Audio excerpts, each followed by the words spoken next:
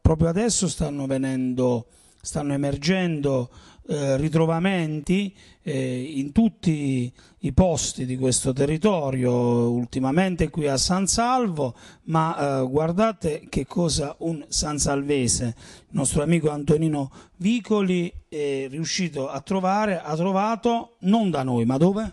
A Palmoli. A Palmoli. I miei consuoceri, buttando a terra una casetta vecchissima, hanno trovato tra i ruderi questa pietra che contiene delle conchiglie marine. a Palmoli conchiglie marine. Conchiglie marine a Palmoli, che si suppone abbia almeno parecchi parecchi migliaia di anni. È stata mia curiosità e anche mia passione recuperarlo e portarlo nella sua sede per poterlo portare a conoscenza anche di chi è appassionato di questi ritrovamenti.